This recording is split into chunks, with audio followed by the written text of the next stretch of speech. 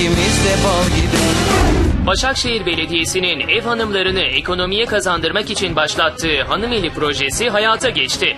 Burası Başakşehir'de bir pazar.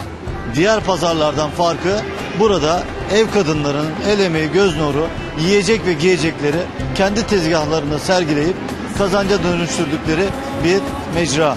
Ne satıyorsunuz? Çeyizlik eşya satıyorum.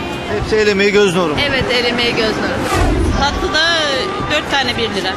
5 liraya burada yemek yiyip gidersin. Eve ekmek bile götürürsün.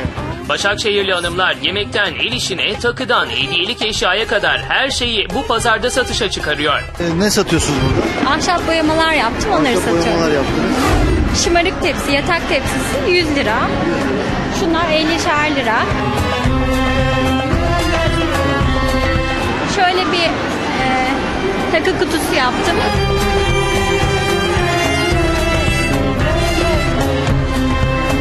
Buradaki her ürün el emeği göz nuruyla ortaya çıkıyor.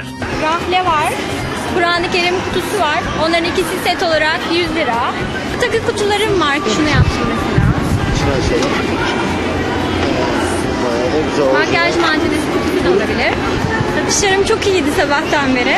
Çok da memnunum. Nasıl buldunuz pazarı? Pahalı mı? Yok çok Uygun güzel, mu? çok uygun. Uygun çok mu? beğendik. Ha. Neyi beğendiniz en çok? En çok bu tabloyu beğendim. Çay Muhteşem. tepsisi herhalde değil mi? Evet.